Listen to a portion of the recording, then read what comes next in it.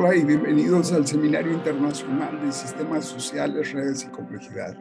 Yo soy Carlos Sedano, profesor e investigador del Departamento de Sociología de la Universidad de Guadalajara. Y en la sesión de hoy, la 86 conferencia, contamos con la presencia de nuestro estimado colega Dusan Cotoras. Dusan Cotoras es sociólogo de la Universidad Diego Portales, y forma parte del equipo editorial de la revista Sistemas Sociales y de la revista Contenido. Actualmente se desempeña como asistente de investigación en la Universidad Alberto Hurtado e investigador externo del núcleo de tecnociencia y biomateriales de la Universidad de Chile. Su trabajo se ha centrado en analizar los mecanismos de evaluación en las industrias creativas y en definir las prácticas de producción de conocimiento en torno al cambio climático, desde una perspectiva etnográfica inspirada en la teoría del actor red y la escuela berlinesa de los estudios mediales. Dentro de sus actuales líneas de investigación se destaca el estudio de la innovación como forma cultural característica de la modernidad tardía y el desarrollo de una dialéctica operacional a partir de la obra del filósofo alemán Gotthard Gunther, con motivo de la reciente publicación hace apenas unos meses de un artículo en la revista de Gestión e Innovación Tecnológica de la Universidad Alberto Hurtado y escrito junto con Tomás Aristia y Juan Espinosa Cristia, le hemos solicitado a Dusan que nos exponga la vida social de la innovación, una mirada pragmática a las prácticas de producción de conocimiento en el mundo de la consultoría. Con gran gusto, te cedo la palabra, estimado Dusan. Muchas gracias, Carlos, por la invitación a este seminario modalidad de conversatorio. Voy a compartir la pantalla.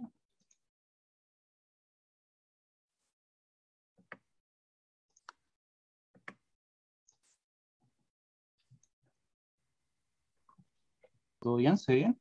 Perfectamente.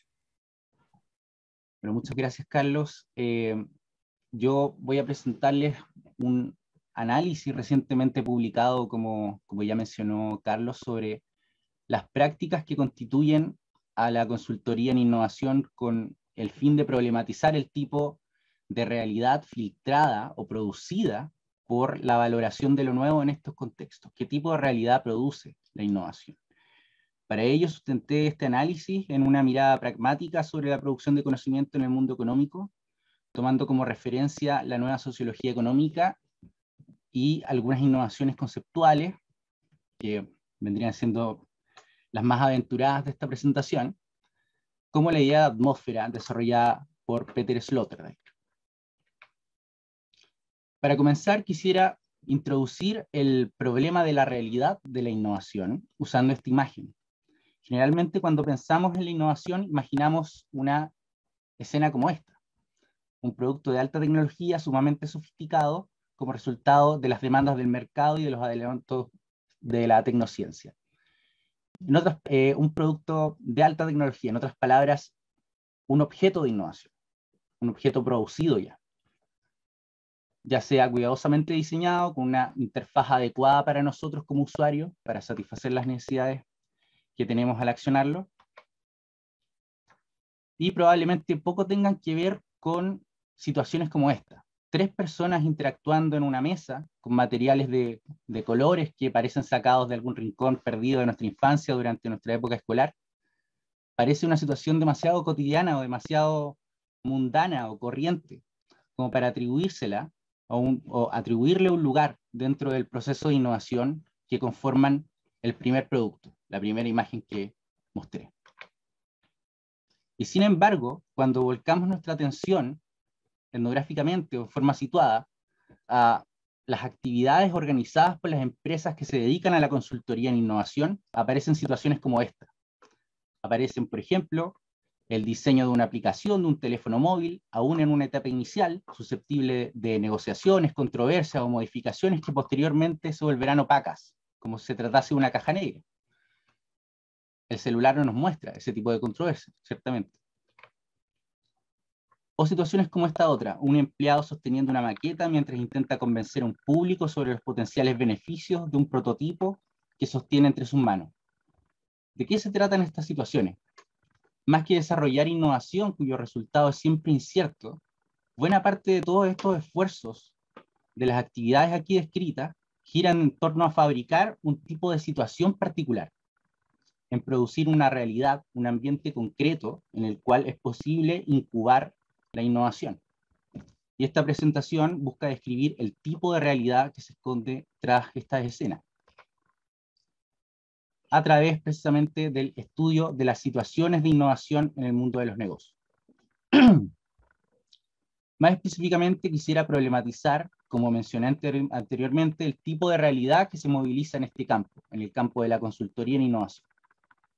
Pero, ¿por qué habríamos de interesarnos en la consultoría? ¿Por qué interesarnos en este tipo de conocimiento que se moviliza en los mercados actualmente? Eh, en primer lugar, es preciso realizar un breve recorrido sobre la manera en que las ciencias sociales han interpretado el mundo económico durante los últimos años. Si la sociología económica de los años 70 acercó posiciones entre la sociedad y la economía, sosteniendo que los mercados estaban, por definición, incrustados, encastrados, envedados en estructuras sociales, en redes sociales, piénsese por ejemplo en los trabajos de Mark Granovetter o, Harrison White, la nueva sociología económica que ha proliferado durante los últimos años irá un paso más allá. Los análisis de Michel Calón o Donald Mackenzie han, han puesto en evidencia cómo la economía, en tanto que disciplina, es decir, los economistas, moldean el mundo económico que buscan describir inicialmente, mediante sus propios modelos pensados para describir esa realidad económica. Es decir, los economistas no se encuentran fuera de la realidad que describen a través de sus modelos, sino que más bien constituyen otro agente económico más que participa activamente en la construcción de estos mercados. Esta sería más o menos la realidad circular en la que se encuentra actualmente la sociología económica, entre realidad y el modelo que lo produce. Esto es lo que se conoce como performatividad de las ciencias económicas y sus consecuencias lógicas, la consecuencia lógica del tipo de sociología económica que se realiza actualmente, resulta en una especial atención de los estudios eh, más recientes realizados por Fabián Muniesa en torno a la realidad que producen distintas formas de conocimiento dentro del mundo económico. Es decir, a pesar de la, atención inicial que ya he mencionado en las ciencias económicas propiamente tal, sabemos que distintas formas de conocimiento estarían en condiciones de realizar de dar concreción a un mundo específico en este tipo de contextos. En otras palabras, la realidad del mundo económico puede ser descrita como múltiple, siguiendo a Muniesa. De ello dan cuenta tanto los diagnósticos con respecto a la variedad estructural del capitalismo contemporáneo, como por otro lado la extensión mundial de los así llamados circuitos culturales del capitalismo, en donde distintas teorías y modalidades de implementación son puestas al servicio del mercado a través de consultorías, charlas, gurús de todo tipo, eh, charlas magistrales y otras instancias. Lo interesante es precisamente que hoy en día distintas formas de conocimiento informan el mercado.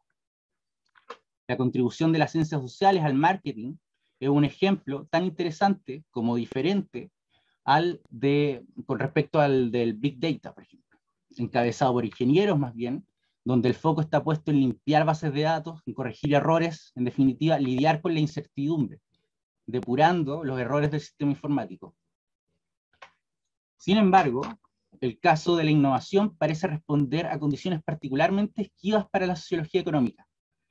Durante los últimos años se le atribuye a la innovación la capacidad de renovar el espíritu del capitalismo a partir de los valores de la autorrealización provenientes de la crítica artística dirigida al modelo fordista de producción durante los años 60 en Francia. Me estoy refiriendo a los estudios de Voltansky, Voltansky y Capello.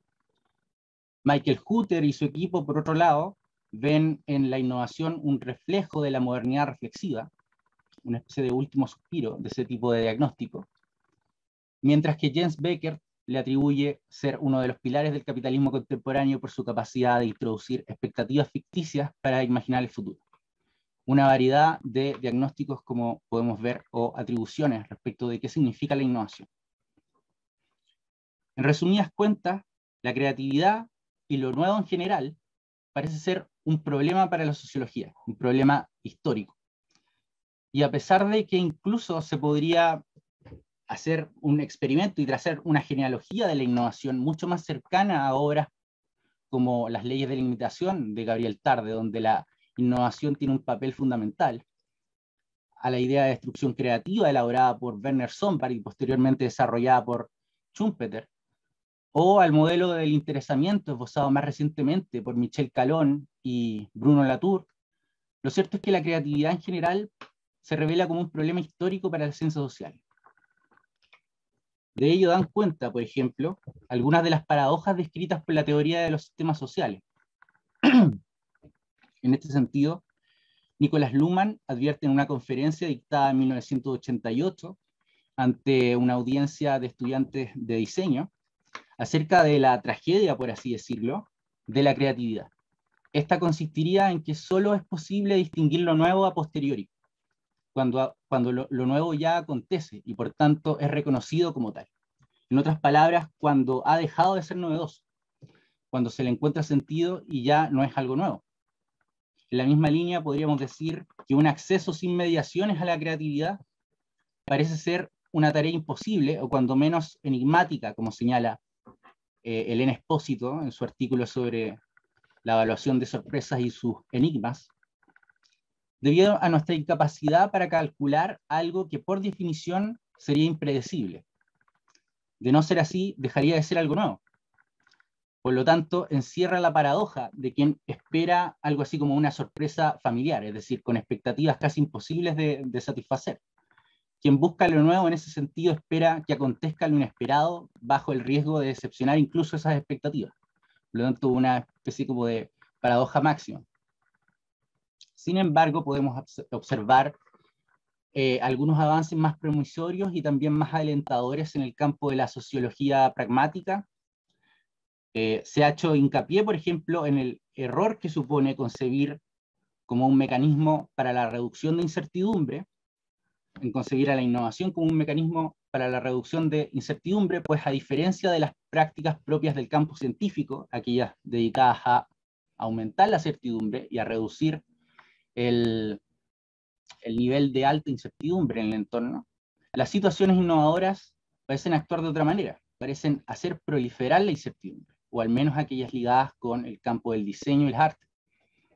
Por lo mismo, quizás la idea pragmatista de indeterminación como contexto donde es posible valorar un objeto sea más adecuada para este tipo de situaciones. Quizás deberíamos trasladar nuestra atención desde los modelos que buscan reducir incertidumbre a aquellos que buscan observar los ambientes donde la indeterminación promueve o favorece precisamente la innovación. Esto es lo que eh, apuntan Michael Hutter y Ignacio Faría en el artículo publicado en Journal of Cultural Economy. Por otra parte, Hans Joas ha llamado la atención acerca de la primacía de la dimensión cognitiva y normativa dentro de teorías como la de Jürgen Habermas en donde la creatividad aparece siempre fuera de las dimensiones que orientan a la acción social. Por ello parece preferible centrar nuestra atención en conceptos desatendidos por toda esta tradición, tales como los de dispositivos materiales, prácticas concretas y los afectos que vuelven perceptible en un infranivel, quizás no a nivel cognitivo, pero sí a nivel perceptivo, que vuelven perceptible todos estos procesos de innovación cuando estos acontecen aún si aún no tiene sentido. Y bueno, en particular, el sociólogo alemán, el sociólogo de la cultura alemán, Andreas Reckwitz, justifica, entrega una justificación para el uso de estos conceptos que yo acabo de mencionar en base a las recientes transformaciones que ha experimentado la semántica de lo nuevo durante la modernidad tardía. De acuerdo con los tipos ideales que ha elaborado Reckwitz, si bien lo nuevo parece ser un término típicamente moderno, es decir, la modernidad es aquel periodo donde lo nuevo deja de ser percibido como una desviación y comienza a definirse como una oportunidad. La irritación es recibida de, buena, de buena gana. Lo cierto es que durante la segunda mitad del siglo XX, Reckvis nos dice que el panorama parece modificarse, al menos en el tono o la manera en que se recepciona esta innovación. Reckbits define así algunas tendencias dentro de las cuales eh, marqué con un fondo eh, blanco y letra negrita, las que considero más, relevantes para esta discusión. En primer lugar, como un resultado eh, quizás lógico del éxito de la economía del conocimiento o el auge del tipo de sociedad basada en el conocimiento, Reckbits reconoce un renovado interés a posteriori por la dimensión estética del conocimiento. Disciplinas como el arte, el diseño, la arquitectura, en tanto, ahí se encontraría la clave para que los nuevos productos sean efectivamente reconocidos como tales, como nuevos. Se precisa más bien esa labor, pareciera, en el tipo de boom de innovación que vivimos actualmente, la labor de la interfaz, la labor del diseño, que al mismo tiempo la labor que impide acceder a la caja negra eh, de las imágenes que mostré en un principio. El énfasis entonces estaría en la recepción, en la estética, en la manera de percibir lo nuevo antes que en su producción. Por otro lado, en contra y en contra de los universales evolutivos establecidos por Talcott Parsons, habría una tendencia cada vez más pronunciada hacia la exaltación de experiencias en vivo, eh, actividades como el turismo resultan particularmente intensas desde el, punto de vista afectivo y están alineadas con esta especie de intensificación en lugar de neutralidad de los elementos afectivos. Todo el giro afectivo en neurociencias y en filosofía parece también hablar algo de eso. Esta nos dice Reckbits, esta tendencia sería una respuesta, al menos esa es su hipótesis, a un proceso progresivo de desencantamiento del mundo tal como fue escrito por Weber, cuyo resultado inesperado sería esta revaloración de los afectos, de la sensibilidad que pertenece a la dimensión estética de las relaciones sociales.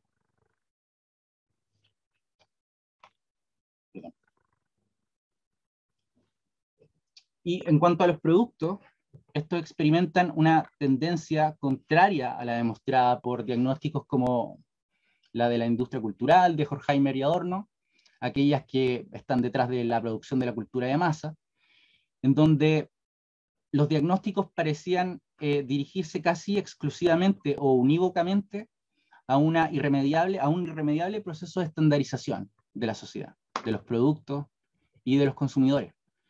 En cambio, lo que, lo que experimentamos y lo que podemos observar hoy en día eh, son servicios cada vez más personalizados, y adecuados a los intereses de particulares de cada cliente, es decir, un proceso de singularización de los productos que se ofrecen en el mercado. Lucian Karpik eh, describe esto muy bien en un libro que publicó hace algunos años, eh, que se llama La economía de las singularidades, y, y, cómo es posible en este sentido analizar singularities en lugar de commodities. Y por último, en línea con los, y quizás de manera un tanto más cliché, eh, en línea con los pronósticos eh, de la poshistoria, qué sé yo, la concepción del cambio estaría inscrito en el espacio antes que en el, tiempo. Esto es algo que uno podría hipotetizar en, diagnósticos como el del antropoceno, pero en, este caso concreto, y siguiendo a los eh, trabajos de Boris Groys, habría que poner especial atención a los arreglos que se realizan entre ciertos espacios institucionales, aquellos donde ingresa o es seleccionada la cultura, los sagrados, si quiere, y los espacios profanos, y cuál es su relación de intercambio. Boris Groys nos dice que ahí estaría la clave del mecanismo de innovación, que él muy bien describe en su libro sobre la economía cultural llamado Sobre lo Nuevo, que recomiendo especialmente. Claro, entonces, hecho este eh, zoom out, esta imagen de diagnóstico en relación con las posibilidades de la sociología económica, voy a eh, preguntarme cómo estudiar este objeto elusivo que parece responder a, características inéditas de la historia moderna, donde nuestros marcos teóricos empleados hasta ahora parecen eh, quizás inadecuados o, quizás no ajustados a lo que queremos observar. De acuerdo con el programa de investigación sobre las fuentes culturales de la innovación dirigido por el alemán Michael Hutter, existiría cuando menos tres niveles para abordar el estudio de la innovación.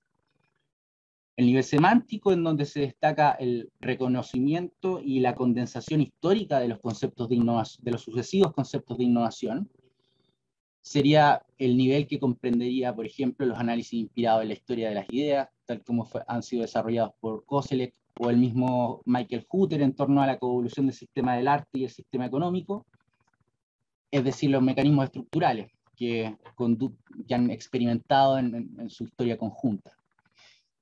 En el nivel de los conceptos, si en el nivel cuya unidad de análisis es el sentido. La gramática implica indagar en el conjunto de reglas y regímenes o repertorios de evaluación que impulsan o dificultan la innovación. Aquí se ubicaría, por ejemplo, los estudios llevados a cabo por Voltansky y Tebeno, o los análisis comparados de, de Michel Lamont sobre la cultura de la evaluación propia de Europa en comparación a la norteamericana. En síntesis, acá se ubicarían los programas orientados a la innovación, el conjunto de reglas, los protocolos que son aplicados y que son modificados, etc. Las reglas para ser aceptados dentro del mundo de la innovación. Y por último, que es donde identifico el mayor desafío metodológico para el conocimiento disponible hasta ahora en torno a la innovación en el mundo económico, se ubicaría la perspectiva pragmática, eh, la cual implicaría centrarse en cómo se hace innovación, más que en el sentido de la misma. Es decir, en un nivel más bien como operativo, si se quiere pensar las prácticas así. ¿Qué es lo que hace la innovación? No que, no que dice que hace. Antes que en su significado y antes que en su discurso. Por ello, las prácticas y la implicación en primera persona, si quiere, siendo aquel antiguo modelo de Varela, que va como de la métodos en primera a la tercera persona, resultan mucho más promisorios para, la tarea de, investigar actos de evaluación, que serían radicalmente diferentes al nivel anterior, al de las evaluaciones. Me explico con esto, a diferencia de las gramáticas de evaluación, la concepción pragmática de la evaluación supone acciones concretas. Por ejemplo, y aquí podría remitirme al estudio de, sobre el, gusto como una acción en, el estudio de los catadores eh, de vino realizado por Antoine Enion, en donde se apunta precisamente a cómo un buen vino se decide no meramente por la sensibilidad del catador o del sujeto, del cultivado, del conocedor, ni tampoco por el vino en sí mismo, por el objeto, sino por la mediación que se efectúa entre medio del sujeto y el objeto. Es decir, entender el gusto como degustar, como algo que en realidad no pertenece ni a los actores, ni a los esquemas cognitivos del actor, ni perceptivos, ni tampoco al vino exclusivamente, sino que es realmente una práctica. Y, aquí Antoine Nion tiene como muchas eh, cosas muy interesantes eh, acerca de los amateurs, acerca de cómo es la práctica de degustar y el gusto, entendido como pragmáticamente, de los amateurs. Y ahí está peleando con Bourdieu, por cierto. Bueno.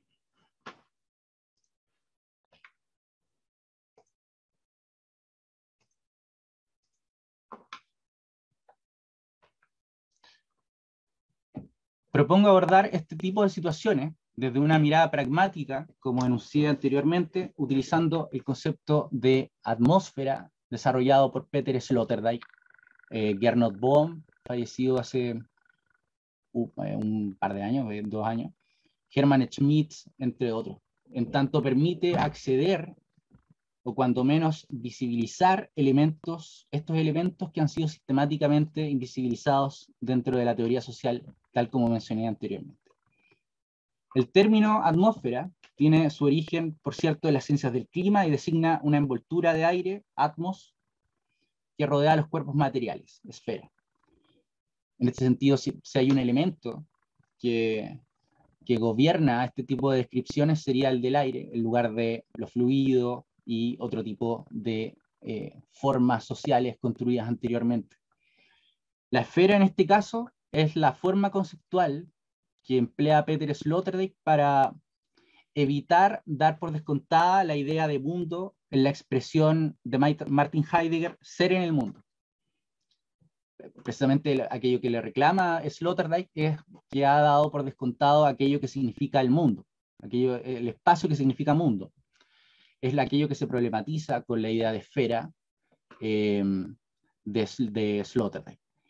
Y bueno, en particular, una corriente poco estudiada, que es la nueva fenomenología fundada por Hermann Schmidt, ha profundizado en esta noción de atmósfera para dar cuenta de las disposiciones afectivas que se hallan en medio de algunas de las divisiones clásicas de la epistemología moderna, que voy a problematizar como herramienta metodológica.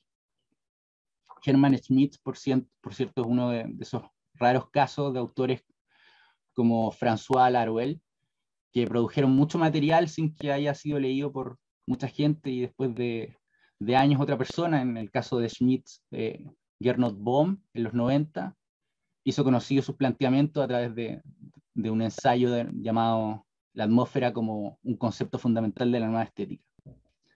Porque durante muchos años tuvieron una producción muy voluminosa sin que nadie se enterara. Bueno, la primera de estas distinciones que voy a intentar suspender y en donde tendría especial rendimiento el concepto de atmósfera para integrarlo dentro de la metodología que emplee en, este, en esta investigación, eh, es la, la, distinción entre sujeto y objeto. Gernot Bohm caracteriza el uso del concepto de atmósfera a partir de, o como una fenomenología de aquello que yace en medio de esta distinción medio de la distinción clásica entre sujeto y objeto. Es decir, aquello que media entre los factores objetivos del ambiente y las sensaciones, es decir, la, dimensión estética percibida por los seres humanos. En, en otras palabras, la atmósfera de cierto entorno es responsable de la manera en que nos sentimos en un ambiente determinado. Estando esta atmósfera ni completamente fuera ni dentro del sujeto. Es decir, es algo que en realidad no pertenece ni acompaña vis a vis al sujeto, tampoco, por cierto, es algo que pertenezca al ambiente. Está en medio, de ambas, se comporta como la degustación en, en, ion. Y este es el sentido específico al que responde la definición entregada por Sloterdijk eh, sobre la idea de atmósfera como una cualidad espacialmente extendida remite, por cierto, y pone atención en la arquitectura que hace posible ciertos estados de ánimo, ciertos estados anímicos, que un, tema que ha sido estudiado por Sumter y por Christian Borg, etc. Y en este sentido, las cualidades secundarias no serían ya un atributo exclusivo de los sujetos, sino que se encontrarían en medio de una situación compartida con un objeto de referencia con un cuasi objeto, como lo llamaría Michel Serres. Bueno, y en segundo lugar, el concepto de atmósfera vendría a interpelar la idea clásica del genio individual, es decir, de la creatividad como proveniente de la mente de un individuo exclusivamente, de un átomo, o de una mente clausurada para poner el foco precisamente en la percepción, usando como medida el cuerpo, o más concretamente cuerpos afectándose o siendo afectados mutuamente. En este sentido, la atmósfera no es necesariamente discursiva, sino afectiva. Por tanto, es una definición completamente espinosista y alineada con el giro afectivo iniciado por autores como Brian Masumi hace algunas décadas. En suma, la atmósfera se encuentra entre el estímulo percibido y el perceptor, del estímulo. y pone como medida, eh, como indicador a la afectividad del cuerpo. Y por último, el concepto de atmósfera se trata de un concepto que interviene sobre la brecha entre la representación, el modelo, y la realidad que busca representar, que es aquello que intenté problematizar mostrando el estado actual de la nueva sociología económica. En este sentido, más que tratarse de un concepto ambiguo, la noción de atmósfera intenta dar cuenta de un fenómeno que por definición es indeterminado y es ambiguo, es ambivalente. No pertenece a un objeto frío y definido y completamente identificable. Sin por ello reducirlo a una terminología que nos resulte familiar. En este sentido, la noción de atmósfera permite dar cuenta, por ejemplo, de fenómenos que implican la sensibilidad de eh, sentidos no necesariamente visuales, eh, tales como el, sonido, el tacto o los olores que muchas veces carecen incluso de una terminología adecuada para referirnos a ellos, para su descripción, si lo comparamos, por ejemplo, con la cultura o la experiencia visual. Por eso para trata que muy relevante la pregunta sobre dónde estamos cuando escuchamos música y dónde, cuáles son como las esferas sonoras, que son como previsuales, si que se analiza el, el mundo intrauterino del, de la psiquis del ser humano, que es básicamente el tema de su primer tomo de la serie Esferas. Bueno, pero ¿cómo se ha estudiado estas esferas? ¿Desde cuándo hay interés en ellas? ¿Y qué casos existen en la experiencia comparada? Voy a intentar, intentar responder a algunas de estas inquietudes a partir de la manera en que Sloterdijk caracteriza este concepto como un acontecimiento propio eh, paradigmático de la modernidad tardía. A juicio de Sloterdijk, uno de los acontecimientos capitales de la modernidad tardía es el descubrimiento de la atmósfera como una entidad que se vuelve operable para los seres humanos y manipulable con fines inicialmente bélicos. Sloterdijk señala al uso del gas clórico que hizo el ejército alemán frente a la infantería francesa en 1915 como el momento inaugural de un saber climatológico destinado a asfixiar al oponente. Ahí es donde visualiza, en el fondo, la artillería de la época, en lugar de dirigirse como dirigir su objetivo, de dirigir el target expresamente al cuerpo del oponente, Em, comenzará a intervenir el medio que hace posible la vida del oponente. Ese es el, objeto de ocupación. Más concretamente, Sloterdijk señala que la violencia dirigida contra el aire respirable transforma la inmediata envoltura atmosférica de los hombres en un hecho cuya validez o invalidez pertenece a partir de ahora eh, permanece a partir de ahora a disposición de los propios individuos es un objeto de manipulación, es un, objeto más dentro de la cultura humana. Solo reaccionando a la privación terrorista han podido el aire y la atmósfera convertirse en objetos explícitos de preocupación y de asistencia de todo tipo.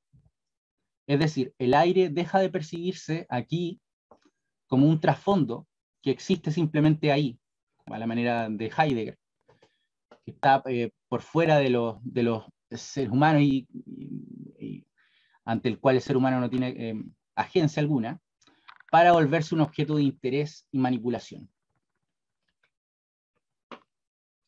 En Chile se, han realizado algunas investigaciones en torno a la interacción entre atmósferas tóxicas del tipo que, como las que está describiendo Sloterdijk y el cuerpo humano. Eh, lo que vemos en esta imagen es la fundición Ventanas, ubicada en la bahía Quintero y Puchuncaví, en la quinta región de Chile. Esta fundición está eh, en proceso de cierre, afortunadamente, desde hace algunos días, puesto que contribuye eh, hasta la fecha al 60% de la contaminación del lugar. Y el sociólogo chileno Manuel Tironi, en este estudio de caso realizado hace algunos años, puso en evidencia una extraña ecología que mezcla elementos químicos y afectivos de sufrimiento y arraigo entre las personas que habitan ese lugar eh, y que conviven con esa nube tóxica, que al mismo tiempo eh, tiene un montón de partículas químicas contaminantes y que producen tanto malestar como arraigo en el lugar. No quieren abandonar el lugar. Y entre sus conclusiones nos muestra, por ejemplo, cómo el cuerpo intoxicado de esos habitantes parece ser el principal testimonio de, de las atmósferas tóxicas que rodean el lugar. En tanto, las reacciones de la piel se manifiestan incluso antes que cualquier intento por comprender su situación, es decir, son perceptivas antes que cognitivas. el cuerpo de estas personas reacciona antes y es como una especie de medidor sensible ante esta nube contaminante. Un segundo caso paradigmático en donde el término atmósfera resulta especialmente pertinente, lo encontramos en el arte contemporáneo. Basta entrar eh, en una galería eh, para encontrar todo un conjunto de objetos, cuerpos silentes, orquestados, conspirando para orientar nuestra atención eh, o nuestra observación de los objetos ahí dispuestos como obras de arte. quizás no hay mejor ejemplo para graficar esto que la obra La Fuente, el famoso urinario de Marcel Duchamp, que ven al costado de la imagen, el cual revela precisamente la ambientación que hace posible distinguir un objeto de arte de un simple urinario para el uso cotidiano, dispuesto de una manera particular para la visión de un público particular. Así, Nicolás Luhmann señala en el arte de la sociedad que un espacio ocupado permite el surgimiento de la atmósfera. En relación con las cosas individuales, la atmósfera es lo que no son las cosas. El otro lado de la forma, el lado no marcado, de la forma establecida por ese objeto ahí presente. Por consiguiente, lo que desaparecería si las cosas se fueran. Es algo así como el aura, descrita por Benjamin. Esto explica lo inasible de lo atmosférico y su dependencia con lo dado como ocupación del espacio. En cierto modo, la atmósfera es un efecto excedente de la diferencia de posición. No puede disolverse en las descripciones de las posiciones, no puede quedarse reducida a ellas, dado que se genera porque la ocupación del lugar crea un entorno. Aquí refiriéndose a la ocupación de eh, los objetos de arte. Entorno que, no siendo la cosa determinada, tampoco puede serlo sin ella. Por ello, la atmósfera es la circunstancia que logra hacer visible la unidad de la diferencia, cosa que constituye el espacio. Por tanto, también la visibilidad de la invisibilidad, es decir, aquello que permanecía como trasfondo, como latencia, es un medio para la creación de formas. Sin embargo, no es el espacio mismo, nunca visible como medio. Mientras la sociedad necesita límites fijos para sus finalidades, se pueden utilizar símbolos relacionados con el espacio como este para límites u otras cosas más allá, más indeterminadas como los mercados. Es un caso mucho más cercano al que voy a presentarles eh, a continuación. Bueno, y por último existe una extensa literatura liderada por Gernot Bohm en torno a el trabajo de puesta en escena o escenificación que vuelven atractivas las cualidades atribuibles a las mercancías de los centros comerciales con el fin de estimular el consumo masivo. Esto también es como muy, uno podría hacer una arqueología hacia atrás y encontrar el libro de los pasajes de, Benjamin, cuestiones similares, etc.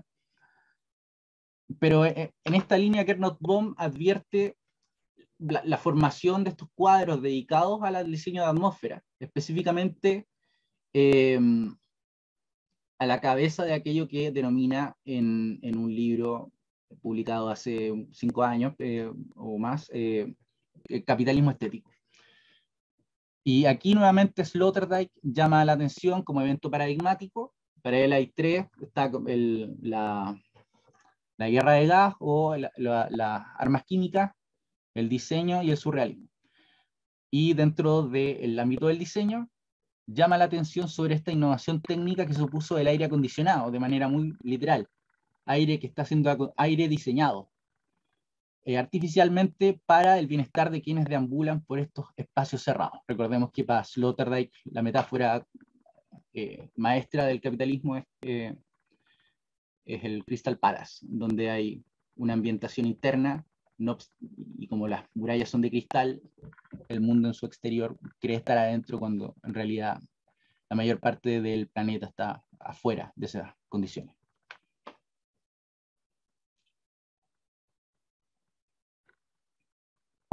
Bueno, tomando en consideración todos estos elementos presentes en los casos eh, anteriormente presentados, quisiera introducir las características del caso que analicé en este artículo.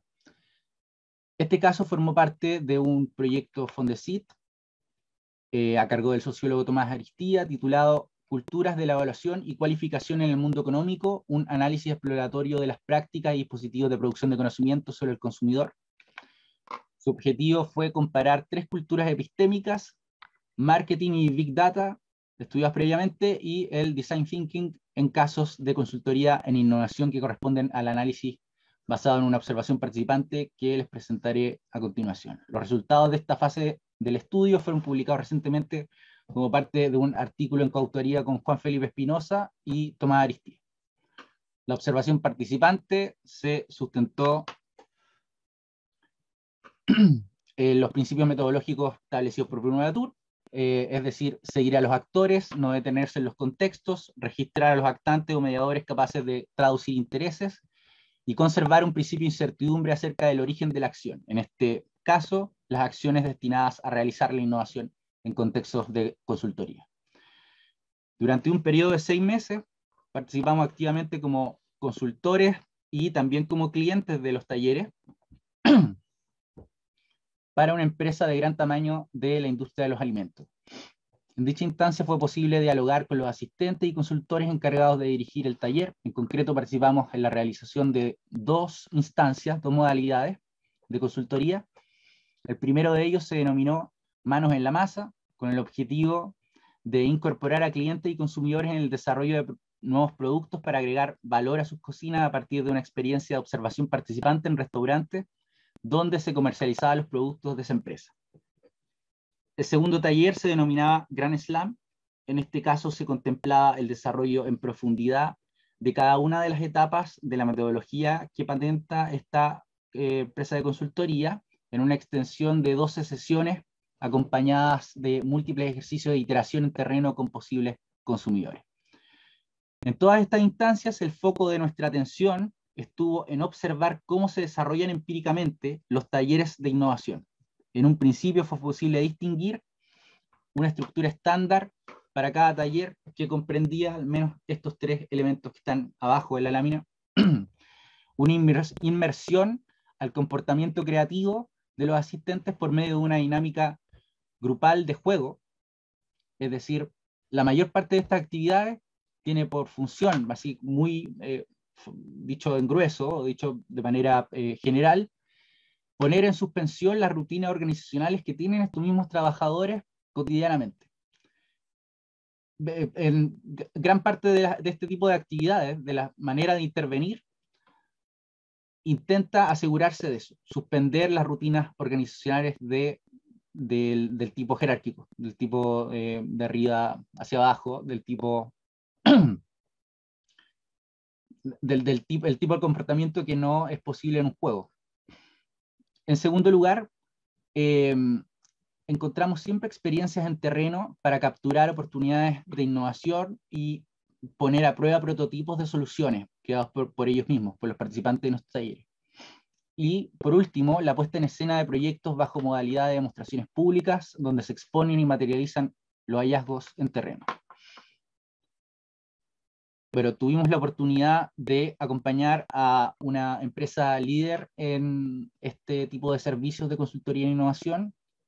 Esta empresa se define como un centro creativo para la innovación cuya tarea es gestionar y aumentar las probabilidades de éxito en procesos de innovación con el propósito de provocar resultados de alto impacto para cambiar el mundo. Su principal actividad consiste básicamente en diseñar y desarrollar proyectos de innovación centrados en el usuario por medio de una metodología experimental patentada por ellos mismos llamada ERA, que consiste básicamente en eh, conceptualizar, en implementar tres espacios, uno para entender, otro para resolver y otro para acelerar. Esta metodología de tres espacios de exploración eh, se apoya en el uso de un kit de herramientas que comprende un conjunto de plantillas reunidas en una guía de comportamiento creativo, donde se describen instrucciones de uso, tamaño de, impresión de las plantillas, número de participantes, materiales de apoyo, etc. Un elemento común, además de los tres ya descritos, es la importancia del espacio. Las actividades eh, se desarrollaron en espacios especialmente acondicionados para provocar los resultados que esperaba la consultora. Eh, la sala utilizada en cuestión tenía como objetivo facilitar la interacción de, los participantes, gracias a seis mesas de madera ubicadas frente a un lienzo donde los consultores utilizaban eh, para proyectar instrucciones de cada sesión. En lo que sigue voy a escribir en detalle las actividades y situaciones de dos talleres de consultoría e innovación en los que tuve la oportunidad de realizar esta observación participante. Nuestro primer acercamiento como equipo eh, a estos talleres se dio a través de un correo con instrucciones claras, que no se ve muy claro en, la imagen, pero la instrucción más concreta y el objetivo está en la parte de abajo. Eh, debíamos presentarnos básicamente a una hora indicada en un restaurante de comida rápida donde se comercializaban productos eh, procesados por la empresa que asesora esta consultora. Y según la información entregada por el correo, el objetivo era rescatar mejoras y oportunidades principalmente con foco en innovación y desarrollos nuevos. Un grupo compuesto por tres ejecutivos del área de la empresa participaría conmigo en las distintas etapas donde se procesa y empaqueta comida, desde que el producto llega al local hasta que se sirve en el plato. Aquí básicamente era de forma literal poner las manos en la masa o ponerse en los zapatos del cliente o vivir como vive el cliente en un local de pollos con toda el, como me gustaría que las imágenes irradiaran como temperatura, con todos los espacios dedicados a ese tipo de actividades y aquí básicamente me vi en una extraña situación de estar en una especie de meta-etnografía, porque era yo etnografiando a otros eh, ejecutivos que estaban haciendo etnografía para este taller. En ese sentido hay herramientas de las ciencias sociales que están siendo utilizadas con eh, fines de eh, consultoría en innovación. Y bueno, en el lugar nos entregaron estos guantes para la manipulación de los alimentos, los ejecutivos realizaron algunas eh, preguntas sobre el empaquetamiento del producto y la cadena de frío, y estos hallazgos posteriormente se debían registrar, se debían vaciar, debían anotar aquello que eh, obtenían de la experiencia del cliente en esta hoja de registro de observaciones eh, que básicamente se dividía en tres columnas, observaciones, verbalizaciones y problemas observados o escuchados.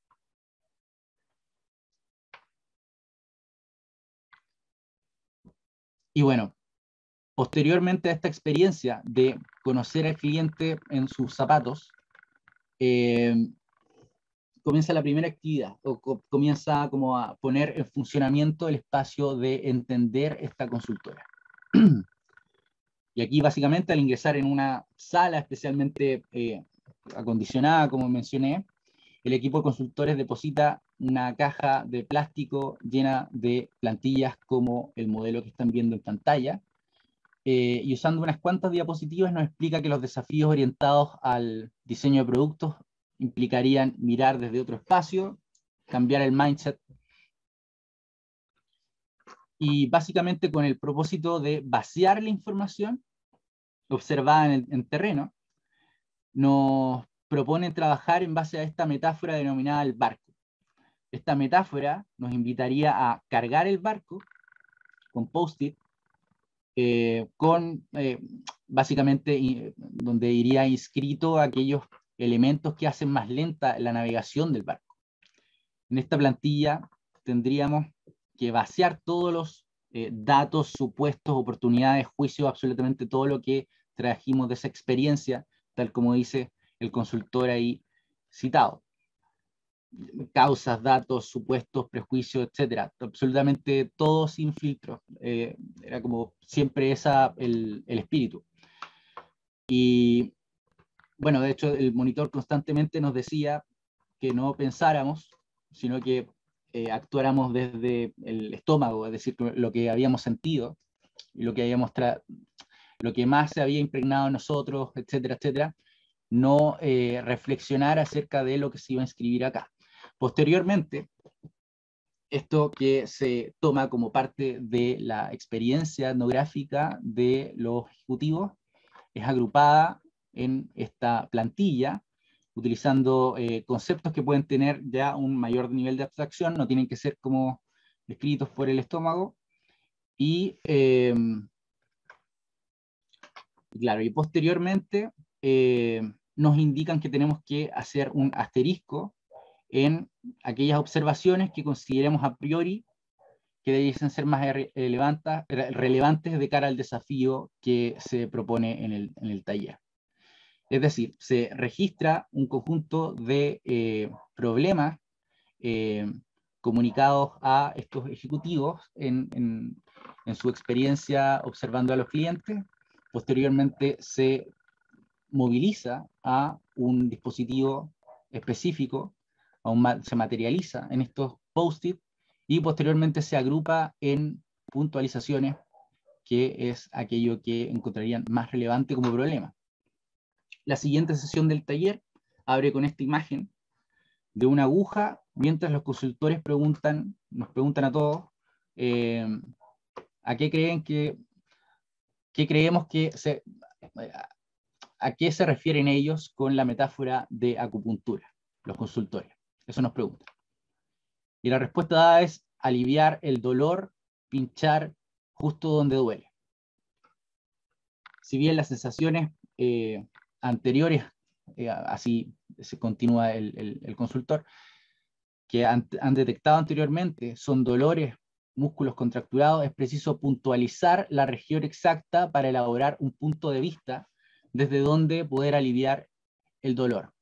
Para ello se empleará la plantilla de la acupuntura, que lleva la inscripción eh, yo pondría una aguja en, tal como ven en pantalla, y un espacio para registrar las razones que justifican dicha decisión, y lo que no se ve muy bien, que está abajo entre paréntesis, es responde a verdades, dolores, puntos críticos, fricciones, momentos mágicos, etc. Y el consultor comenta entonces, ya cerrando esta primera espacio de comprender al cliente para iniciar el proceso de innovación, que la gran, gran conclusión de este espacio de entender, espacio para entender, es meterse en el punto de vista, este punto de inflexión que está entre la transición de los dos espacios, entender y resolver, y nos dice que a mí me gusta entender el punto de vista bajo la metáfora de la acupuntura, pinchar un nervio y que este nervio provoque una reacción. Entonces el punto de vista tiene que ver con la idea de ir, ir a pinchar. Luego de haber llenado la, plantilla, el consultor las ordena aplicándolas de manera inarticulada en un muro y pide a las eh, asistentes que, voten.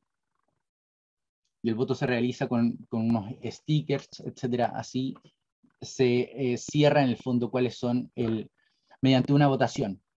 Em, las principales aristas mediante votos, que sería la manera en que es traducido el dolor del cliente en una ahora arista, en algo que está ahora puntualizado para ingresar en el otro espacio. Y bueno, esta otra cita de, eh, referente a la misma metáfora que han empleado. Eh, pinchar justo donde duele, nosotros ya hemos detectado varios de estos dolores, hacemos toda la información, los músculos que están bien contracturados, etc. Bueno, las distintas situaciones que acabo de relatar, en donde yo participé como eh, monitor y como eh, cliente. Eh, dan cuenta de cómo la actividad de innovación se centra en producir una forma de atención específica al consumidor. En primer lugar, se observa cómo esta atención no es puramente intelectual, como reiteradas ocasiones mencioné, sino que está mediada por la creación de un afecto, una atmósfera afectiva particular.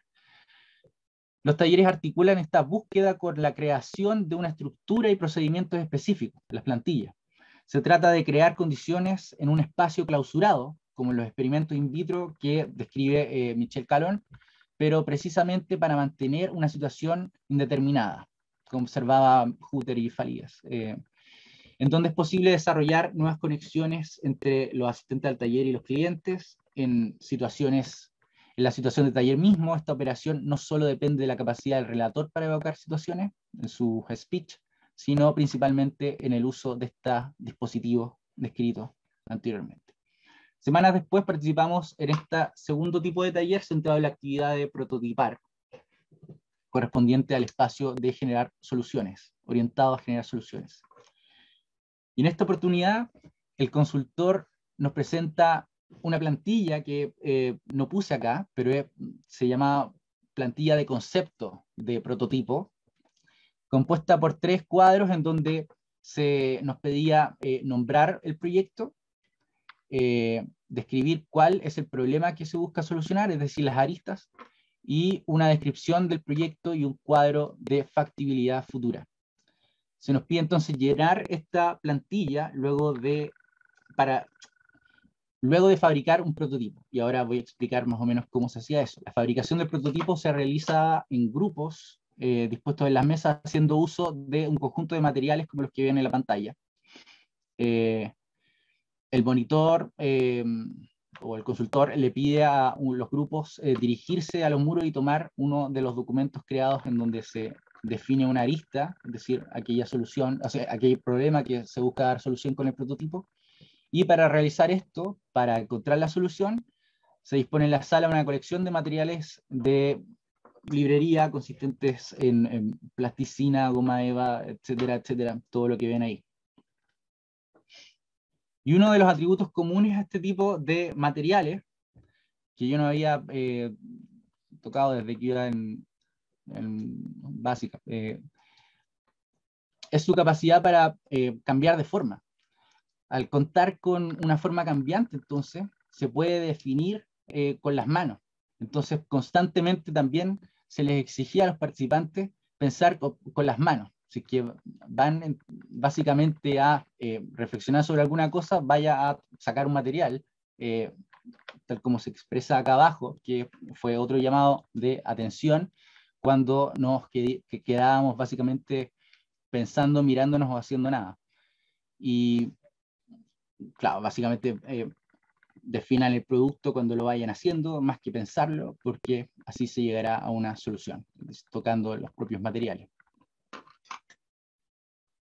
Y bueno, el trabajo de realizar este prototipo se va estimulando por una serie de dispositivos orientados a facilitar la innovación. Estos se relacionan sobre todo, y en esta etapa es más evidente, con la gestión del tiempo, con eh, multiplicar los productos que se eh, ofrecen eh, en el taller eh, mediante, los consultores básicamente buscan acelerar y multiplicar la cantidad de prototipos que eh, realizan los participantes, minimizando su capacidad crítica o la, opción, por ejemplo, de arreglar un prototipo anterior, se propone más bien una lógica del tipo ensayo-error y realizar varias series consecutivas de prototipos por ejemplo, se enfatiza la necesidad de llenar la sala de prototipos, que es la imagen que ven a la derecha, y multiplicar alternativas. Aquí básicamente la lógica es completamente diferente en, cuanto a ritmo. Y se busca con ello eh, la cantidad en desmedro de la prolijidad. Uno de los consultores respecto a esto relata que si la idea es brillante, básicamente una que en algún momento también le llamó como la metáfora de un, trabajar como un arquitecto, que si la idea es brillante puede ser escrita en una servilleta que escribe un arquitecto eh, simplemente cuando se le ocurre una idea. Y bueno, junto con la gestión de la temporalidad, introducen este tipo de... Eh, otra metáfora, este, en realidad son eh, hacia el final voy a explicar lo que yo creo que significan las metáforas para este tipo de, contexto. Y aquí básicamente utilizan eh, estas metáforas para introducir variedad. Estas son llamadas por ellos y así básicamente se denominan estas herramientas tarjetas de provocación, que son una de las técnicas que ha desarrollado el equipo de consultoría y estas responden a un diseño general para provocar, situaciones en base a dos tipos. El primero es la, serie que ven acá en, pantalla, y es básicamente un tipo que impone una limitación a los prototipos, es una restricción. Es decir, desarrolla la actividad, pero desarrollela con 100 dólares, con 5 vacas o en una noche.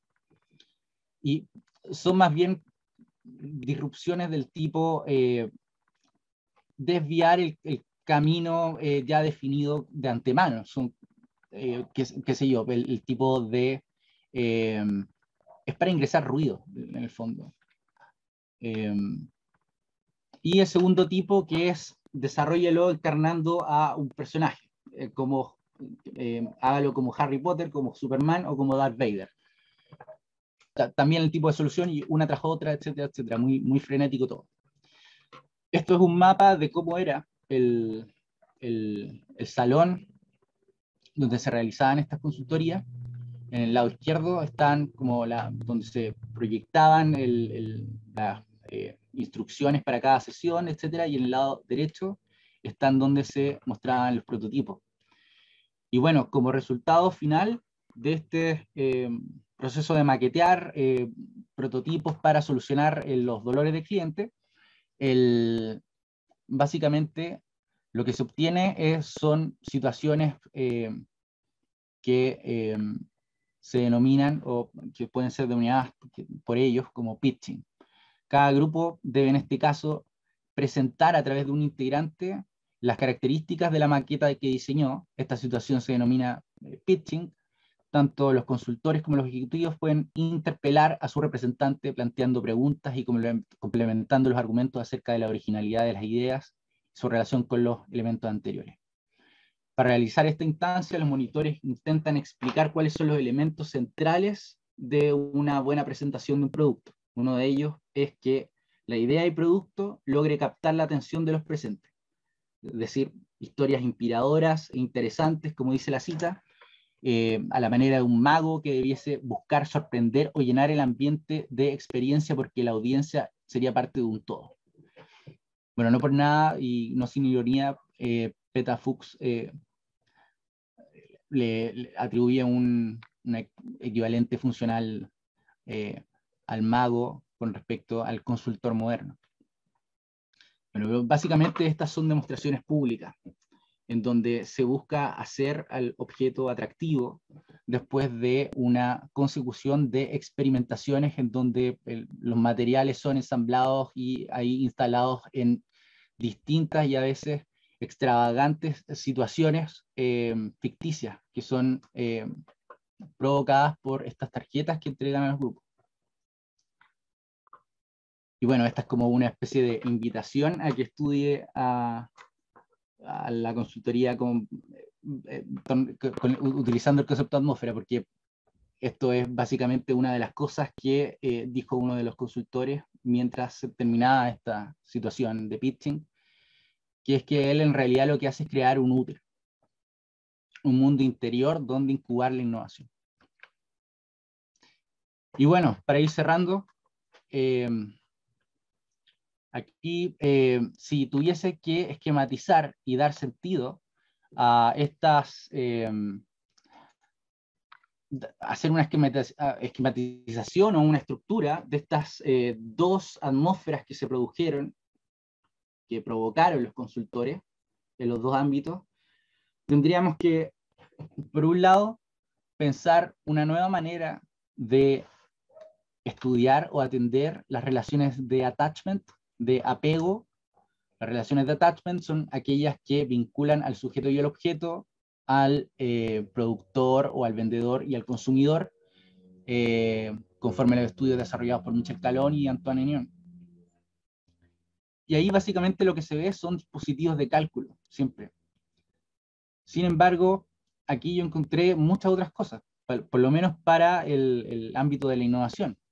Está, por ejemplo, la recurrente movilización de metáforas. La metáfora, eh, Graham Harman le asigna, y, otros más, eh, la, función en el fondo de acercarse a un objeto o, a, un objeto que todavía no tiene concepto, algo que todavía no, no existe. Las metáforas ayudan a movilizar eh, la acción hacia ese lugar, hacia ese lugar que todavía no puede ser definido.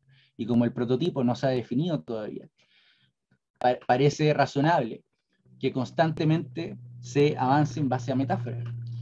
Y en el caso de las metáforas de apego de attachment, están todas estas superficies de inscripción, en donde se em, da cuenta, se materializa la experiencia em, recogida en base a una situación particular, que son la, el desarrollo de etnografía. Etnografías orientadas con una observación particular, una manera de observar particular, que es eh, detectar, sentir y transmitir el dolor del cliente. Es decir, es una, especie de a priori doliente, donde se transporta información de aquello que es captado o capturado como dolor. Y, por cierto, que la metáfora que engloba a este tipo de atmósfera, al que vimos en la primera situación, en el primer espacio, es el de la acupuntura, que vendría a puntualizar o a cajanegrizar eso que es un afecto para que pueda ser eh, transportado a la situación siguiente, como una arista. En el segundo caso, el de las atmósferas que podríamos decir buscan experimentación, se experimenta un, o se vive, se percibe un afecto completamente diferente, es decir, el que tiene que ver con este frenesí de hacer en lugar de pensar, hay como una especie de imperativo de usted actúe o sienta, por favor, no, eh, no piense, no reflexione acerca de lo que lo estoy Hay como una especie de verdad del cuerpo, muy eh, intensa en, este tipo de conocimiento que eh, inspira a los procesos de innovación. Y bueno, aquí más bien de lo que se trata es de, de producir y el dispositivo como eh, que tiene primacía por sobre los demás, producir y producir prototipos, prototipos de, potenciales productos que posteriormente sean votados y serán seleccionados para entrar al mercado. Están todas estas metáforas que con una eh, función eh, más bien de alterar el curso de aquello que ya está definido como un prototipo particular. Y estas defensas públicas que son muy similares a los contests o a este tipo de experimentos públicos que, que han sido también estudiados por, por Calón. Y tengo la impresión de que esta conjunción de elementos que conforman la atmósfera puede ser una de las contribuciones de todos estos eh, meses que eh, estuvimos participando y realizando estas etnografías. Quiero volver entonces a la pregunta y, de manera eh, sucinta establecer algunas reflexiones finales o preguntas que aún me quedan para poder conversar. La primera es que la innovación, al menos en este nivel infranivel, en el nivel pragmático, cómo se hace innovación, cómo se está haciendo innovación en estas empresas, que se revela en un ambiente cargado de estos tres elementos, están constantemente renovándose, cambiándose para producir otro efecto. Hay un efecto particular que es el dolor o la, experiencia como de aceleración, de frenesí, hay metáforas constantemente empleadas y parece ser, parecen tener una primacía por sobre los conceptos. Y hay, por cierto, una serie de dispositivos, una especie de eh, visión en la que la mente de verdad está como distribuida. Hay todo el tiempo anotaciones eh, siendo sacadas del post, de la plantilla, intercambiadas, borradas, y bueno, recuerdo también que eh, no había opción de eh, volver a ingresar a otros posts. Es, decir, parece que se debe constantemente materializar aquello que se quiere decir o se piensa. Creo que en esa conjunción de tres elementos hay al menos, o excede eh, lo que se ha podido demostrar y estudiar en los estudios sobre los attachments y sobre los experimentos públicos. Por otro lado, y quizás esto es un hallazgo eh, no, no, del todo, eh, no, no, del todo eh, rupturista como me gustaría, pero aquí básicamente se replica el, el, tipo de hallazgos de sociólogos como David Stark o las etnografías sobre estudios de diseñadores y de creativos, en donde parece que la innovación no se lleva bien con el consenso. Al, menos lo que yo pude observar, y se observa particularmente en esta eh, sucesión y multiplicación de eh, prototipos, es que no se busca nunca el consenso. Eh, eh, quizás con excepción de este procedimiento de votación por el eh, prototipo que reúne mejor y que va a pasar a la siguiente etapa. Pero pareciera ser más la hipótesis que presenta David Stark en su famoso libro sobre el sentido de la disonancia, en donde las organizaciones o las firmas innovadoras precisamente nunca están de acuerdo entre sí. los empleados nunca están de acuerdo entre sí. Se generan fricciones. básicamente la, creatividad es un asunto de fricción. Eh, en tercer lugar, quisiera aquí poner de manifiesto una inquietud y, y un poco responder tentativamente a esta pregunta acerca de la caracterización de una realidad de la innovación. La realidad de la innovación, aquello nuevo valioso para la consultoría en innovación, descansa en esta puesta en valor o puntualización, como lo graficaron metafóricamente, del dolor del cliente, de un afecto particular, para experimentar con soluciones de mercado en base a un artefacto particular que son los prototipos. Es decir, hay un punto hay un punto ciego muy claro acá, en, el fondo. Eh, es un tipo de afecto que se moviliza y que pasa el filtro en el fondo de aquello que es novedoso y valioso. Y por otro lado, eh, debe materializarse de una manera particular, que son estas maquetas. Por lo tanto, y esta es más bien la pregunta que a mí me interesa y por la que me interesa estudiar el tema de la innovación como una especie de experiencia de modernidad fiebrada, una experiencia como forma cultural de la modernidad tardía, es qué otras modalidades entonces profanas, como le llama eh, innovaciones profanas, aquellas que no son valuadas como tal, asume la innovación fuera de estos espacios.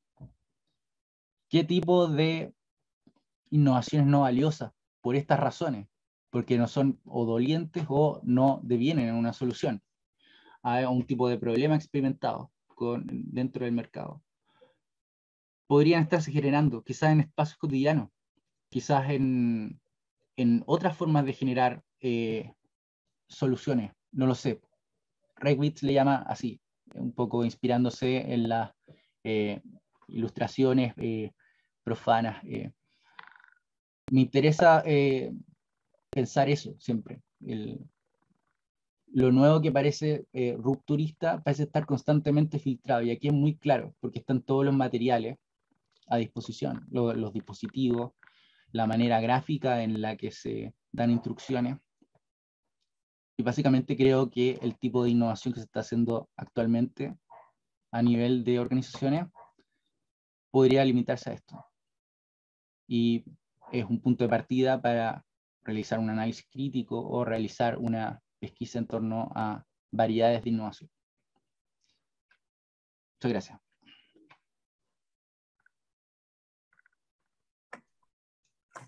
Dusan, excelente tu trabajo. Muchas, muchas gracias. Y ya tenemos preguntas. Tenemos una primera que dice, hola, muchas gracias Dusa por tu presentación. Es admirable el trabajo de mapeo teórico y empírico que realizaste. Felicitaciones. Quería preguntar dos cosas en relación al concepto de atmósfera en Sloterdijk eh, que utilizaste.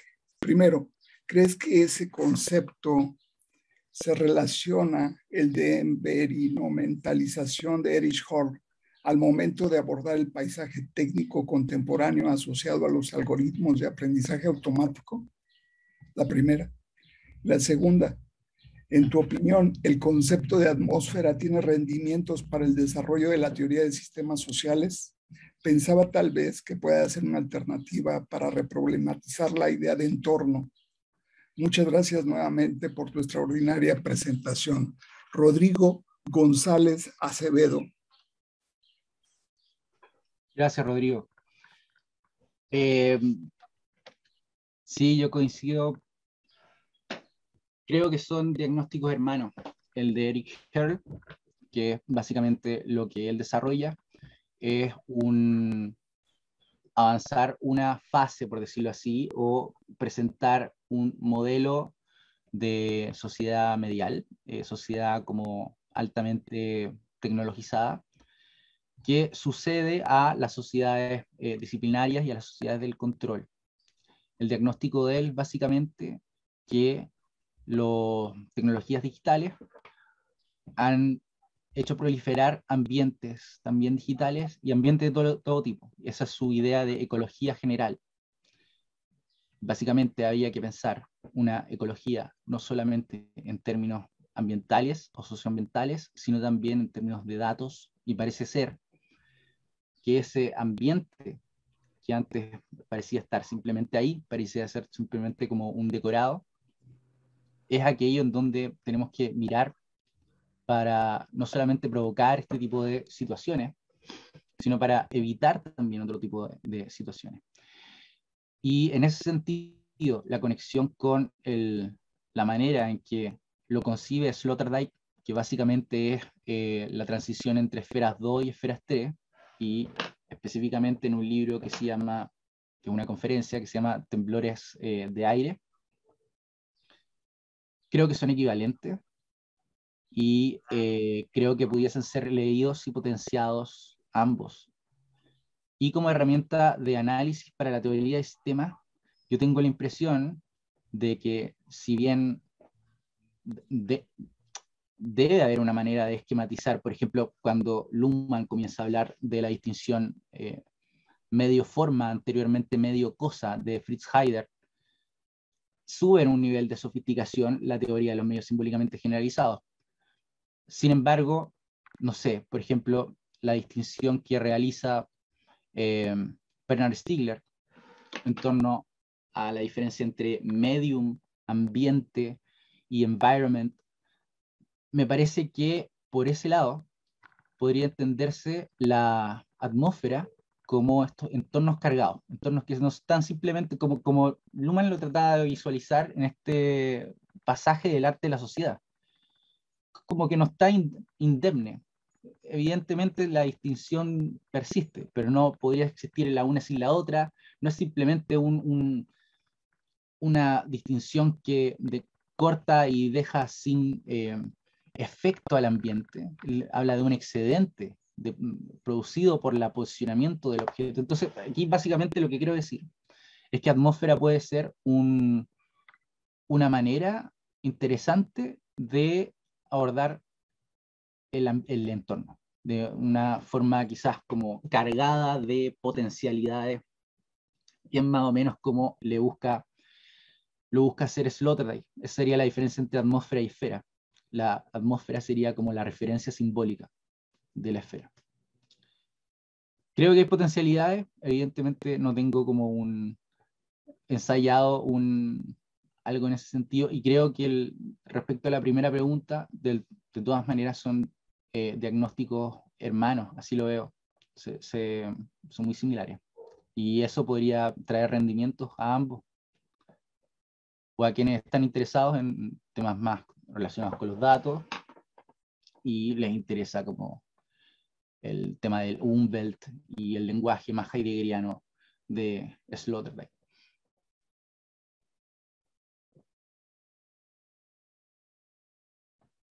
¿Tienes otra pregunta? De Maximiliano Rivas. Dice, felicitaciones, Dusan, por tu presentación.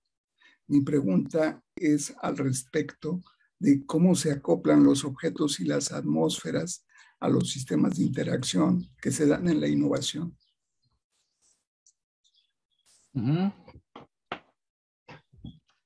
Sí, a ver, en la literatura sobre atmósferas afectivas propiamente tal, eh, recomiendo un texto que en realidad no hice referencia durante la presentación, es de Anderson del 2009. Él trabaja sobre, por ejemplo, trabaja sobre el sonido.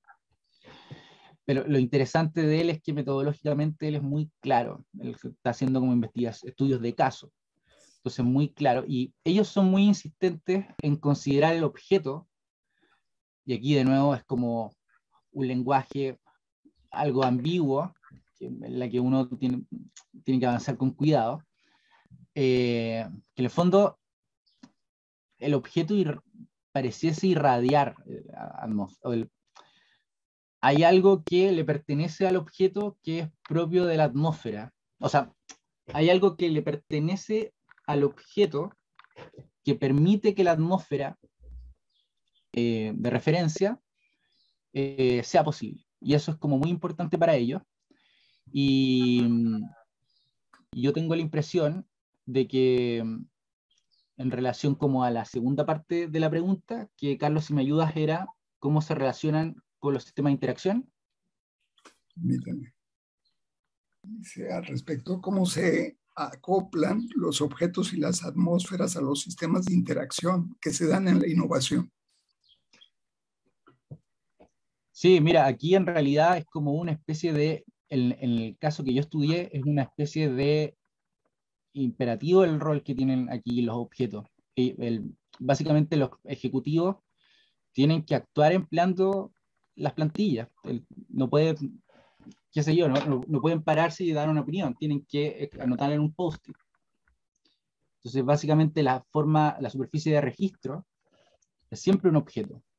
Siempre está siendo registrado en, en, papeles, en, posteriormente, en, siempre es todo material, siempre hay un testimonio material. Ahora, como una vuelta de tuerca más teórica, sería eh, hay un texto muy eh, conocido y hay un pasaje de sistemas sociales también muy conocido al respecto, que es cuando Luhmann explica cómo se acopla un sistema funcional con un sistema de interacción. Él dice básicamente que bajo ciertas condiciones se excede un umbral de complejidad. Entonces eso transforma una discusión en un problema legal, o también un debate, una disputa, una controversia en un problema moral.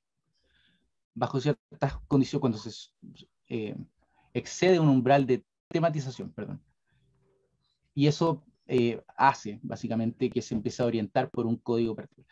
Uno podría poner, poner atención ahí en, en, cómo el objeto, de la manera laturiana, hace que se disloque la interacción. Es decir, básicamente eso divide o separa la teoría del actor red de una etnometodología. Los objetos siempre comunican a la, a la interacción con algo que no es la interacción y que no le perteneció nunca a la interacción, que es el objeto. La plantilla se produjo en una consultora. Todo el tiempo, si la, la plantilla, se, la plantilla se, se cambiaban cuando no funcionaban. Es decir, constantemente las pantallas, los dispositivos, nos están comunicando con algo que no pertenece a la interacción. Entonces, estudio, estudio del tipo ANT nunca se queda anclado en, ese contexto. Siempre está atento acerca de cómo se eh, localiza la interacción, cómo se encierra, cómo se clausura, porque esa clausura nunca es hermética completamente y siempre se desborda, siempre se, hay fallos. Y por lo tanto, Ignacio Farías tiene en unos textos eh, bastante antiguos, ya, eh, o sea, desde hace algunos años, en su estudio sobre el turismo, alguna conexión de ese tipo. Es decir, cómo en la interacción, el sistema de interacción, al introducirse todo objeto, se básicamente disloca la interacción o se acopla, que sería como el tipo de lenguaje que podría estar más cercano a entregarte una respuesta. Pero mira, a ver, el, el rol del objeto ahí con la interacción es siempre eh, es mal, es, es complicado seguir hablando de sujeto y objeto aún en, aunque estos autores lo hagan. Pienso que eh, lleva como a problemas. Debería hablarse más bien como de mediación, porque en el fondo el rol del objeto ahí está siempre, es siempre parcial, y el del sujeto participante también es parcial. Es decir, mm, básicamente la realidad de la innovación o la realidad de estas atmósferas de innovación debería estar en medio de ambas porque no, no podría ser de otra, de, de, otra manera, porque contempla afectos, es decir, contempla cuestiones que, que están como en el borde de, el, de la interioridad de, las personas.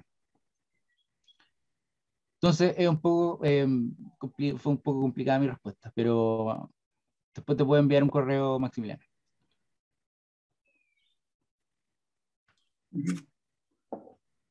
Oye, pues, pues yo, yo el artículo me pareció muy, muy interesante, muy atractivo por dos razones principales.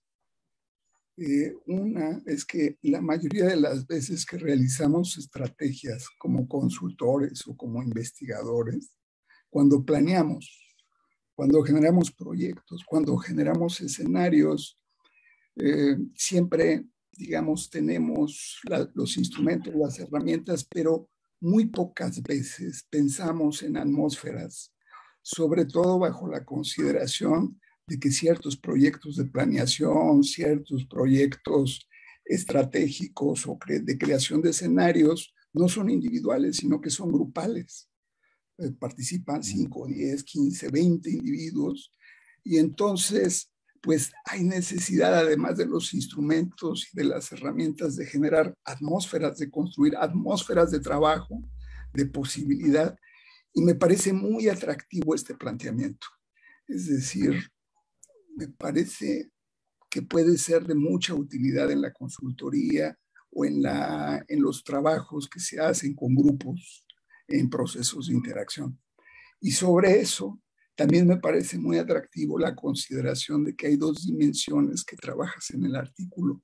Una dimensión objetiva, la de los objetos, las cosas, las vivencias, y otra dimensión que es la social, ¿no? entre este conjunto de actores que participan en estos modelos de atmósferas de innovación. Pero eh, resiento la ausencia de una dimensión temporal. Eh, y te lo voy a explicar porque normalmente cuando uno hace planeación o cuando genera escenarios, parte de problemas en el presente. ¿no? Es decir, partes de un problema que en el presente y luego te vas a las causas que generan ese problema y es un poco irse al pasado, jugar con los tiempos. Es decir, trabaja los problemas en el presente, las causas que generan el problema en el pasado y construyes escenarios a futuro o proyectos a futuro precisamente en una dimensión diferente a la del presente y del pasado, que es exactamente el futuro. Y entras en juego con los tiempos. Es decir, es algo que es muy interesante cuando trabajas en grupos, trabajar con los tiempos.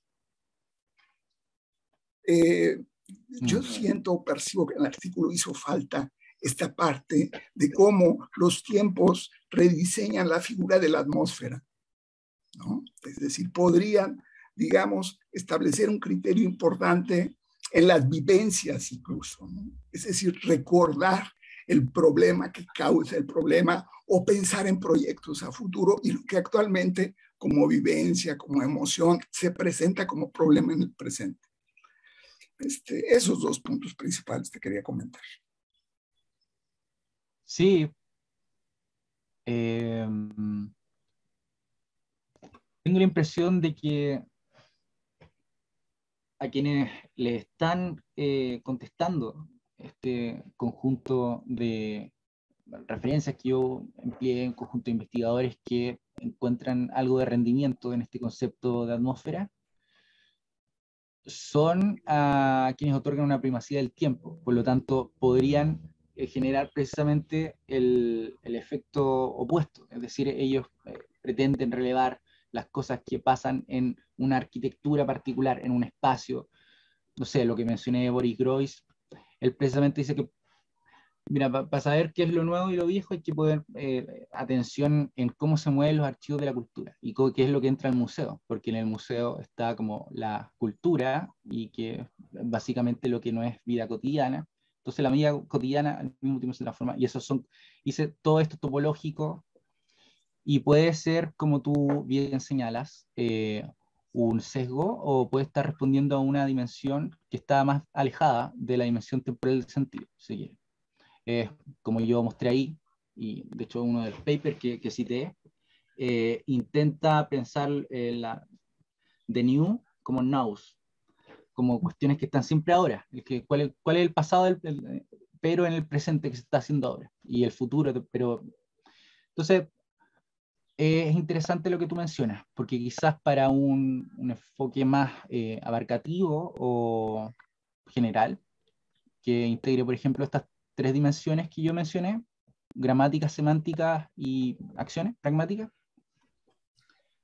podrían no responder las atmósferas a una cuestión de orden temporal, paradójicamente, porque es una atmósfera de innovación. Uno creería que el tiempo aquí es lo fundamental, porque se está intentando de modificar aquello que es eh, viejo, de lo nuevo. Pero bueno, sí, de todas maneras, busca hacer esta especie de enroque un poco extraño de inscribir el tiempo en el espacio y encontrar ahí respuesta a ello. En todo caso, y uno podría como abusar quizás un poco del, lenguaje y poner atención al tipo, a, la manera en que se ha referido históricamente la, ciencia económica a los propios eh, como apps de, de, conocimiento. Eh, Alfred Marshall se refería como a las atmósferas productivas de los distritos industriales y, y hasta en distintas eh, eh, formas de em, promocionar o facilitar la productividad en, en clusters, qué sé yo, en, ese tipo de, modelos más bien industriales, más, más de conglomerados. Cadenas, clusters, claro. No, claro, y está esta idea del conocimiento tácito que en realidad está basado en la confianza, presencial, todo de nuevo como, como esta interacción, este frágil equilibrio entre lo que es como encerrado, como gente que se está viendo todo el día, por lo tanto tiene, puede trabajar, eh, puede, hay como una especie como de ebullición de ideas en, ciertos lugares del mundo, en Silicon Valley o en Hollywood, son como concentraciones de, ese tipo. Pero al mismo tiempo necesitan algún tipo de vínculo con, con, el, con el ambiente, con, con, con el resto del mundo. Entonces sí, yo creo que en torno a este tema, el, como bien sintomático, que siempre aparezca la, el ambiente, la atmósfera, hay algo en el aire, decía también el Marshall, el Alfred Marshall, eh, y que no puedo explicar. Y aire nuevamente, qué sé yo. Creo que por lo menos va a acompañar a, a la gente que hable de innovación en algún tipo más, esta idea de atmósfera. Claro, claro otra cosa que a mí me ha parecido sumamente interesante de tu exposición es la cita de autores teóricos de gran envergadura, ¿no? Bruno Latour, Niklas Luhmann, Peter Sloterdijk. Tú dices, bueno, estás hablando de autores que si por algo son reconocidos es porque tienen un alto nivel en el análisis teórico y conceptual y que sin embargo eh, gente como Bárbara Chernovska, eh, los ha invitado a realizar trabajos organizacionales y reflexiones sobre la consultoría. ¿no? Es decir, Luhmann en el capítulo 14 de Organización y Decisión, al hablar de consultoría, cita por supuesto a Bárbara Chernovska. Este, Bruno Latour en el reensamble en la sociedad, en la primera página donde están los agradecimientos, agradece a Bárbara, a, Bárbara Chernowska que lo haya invitado a generar un curso sobre organizaciones, ¿verdad? Y precisamente ese curso de organizaciones tiene que ver con estos artículos de innovación que tiene uno sobre esta parte que tiene que ver con el interesamiento el papel del interesamiento en la innovación y el papel de la búsqueda de buenos portavoces mm. también en la innovación. Eh, entonces me parece muy atractivo cómo es que has encontrado, y, lo digo por el artículo, has encontrado la referencia de estos, digamos, teóricos por excelencia y su relación con la consultoría y los trabajos, digamos, más, más eh, de intervención. Eh, por cierto, eh, ¿qué te pareció la parte de innovación de la Tour y qué, qué, tomaste de ahí del artículo? Sí, bueno, yo tengo la impresión y, y, yo supongo que hay gente que comparte esta opinión, que la teoría de actor red es como una hija o nace en un centro de Sociología de la Innovación, en una universidad como de ingenieros básicamente, donde hay unos cuantos eh, sociólogos, eh, bueno, Latour tampoco es sociólogo, eh, Calón tampoco es ingeniero, Eh, Latour es como estudió teología, después un doctorado en, filosofía y terminó haciendo antropología. Eh, bueno, pero a lo que quiero ir es que tengo la impresión de que ha acompañado desde sus inicios su manera de comprender cómo se despliega la ciencia, es decir, la manera en que describen la, la manera de reunir recursos, etc., es como una beta muy sensible a, ciencia, ciencia en acción, ciencia en medio de eh, recursos que, son, eh, que requieren esfuerzo y que hay que mover a veces como una ciudad completa para que el, para que el producto de la ciencia eh, pueda finalmente ver la luz. Entonces, yo diría que especialmente los artículos estos de los, del 91, está este modelo de, del interesamiento, que ellos, interesamiento y enrolamiento, que básicamente serían estas etapas de la investigación en donde en un principio se plantea una situación hipotética, posteriormente se busca que los stakeholders generen algún tipo de atractivo hacia los, eh, el programa de acción del interventor o del innovador. Y posteriormente hay una especie de etapa de que ellos llaman enrolamiento, en donde la asignación de roles que se da por sentado en las organizaciones, por ejemplo, no está del todo resuelta y a veces simplemente los agentes no eh, generan resistencia y con agentes estoy eh, refiriéndome a muestras de los científicos esto como Michel Calón en sus eh, artículos como antiguos, muy explícito.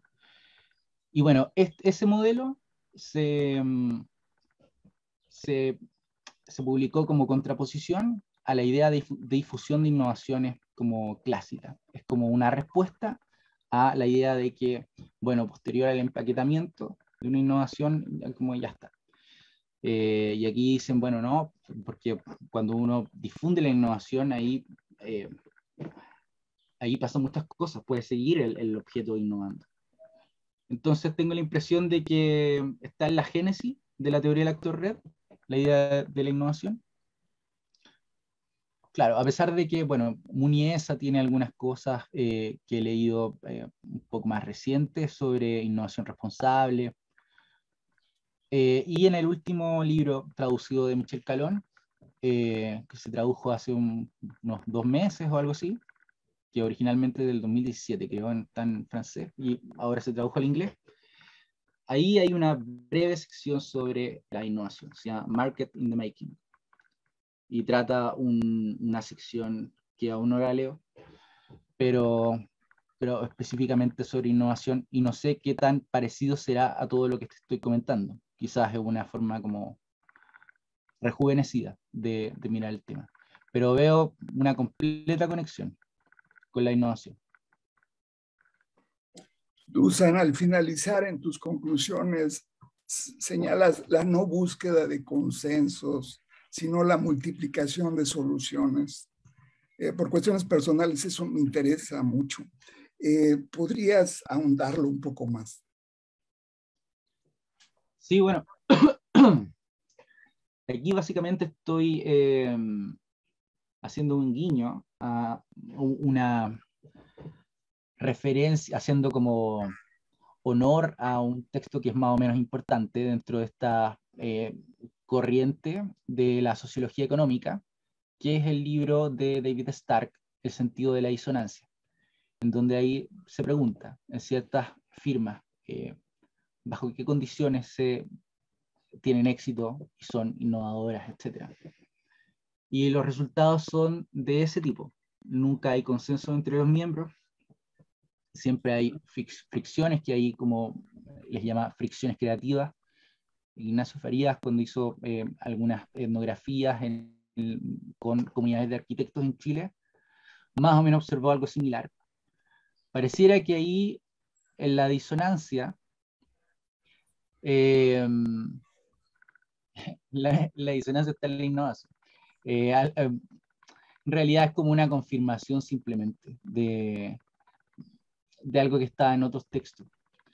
pero es más o menos la regla en esto, eh, en los antecedentes que yo tenía.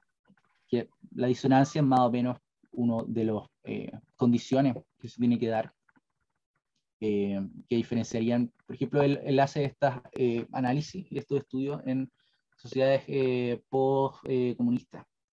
Entonces están saliendo de, de una forma como muy jerarquizada, muy poco horizontal. Y nada, encuentra estas formas jerárquicas de relacionarse. Que claro, uno podría ahí pensarle un poquito más eh, con la idea de resonancia, ¿sí? pura disonancia y nada como de internalización de la diferencia. ¿Será algo tan útil? Probablemente no, eh, quizás sea un poco destructiva la disonancia. Si es que no hay nada con lo que uno se queda. Y ahí podría uno jugar con el par entre resonancia y disonancia, como, tal como ha sido desarrollado por Luhmann o, o Hartmut Ross. Sí. sí, porque a la hora de la consultoría o de la intervención siempre te enfrentas a disensos, grupos diferentes con diferentes soluciones y diferentes propuestas y donde no puedes encontrar un punto común de consenso y entonces tienes que pensar en términos de trilemas o tetralemas, en términos de ni esta ni esta, otra más, ¿no?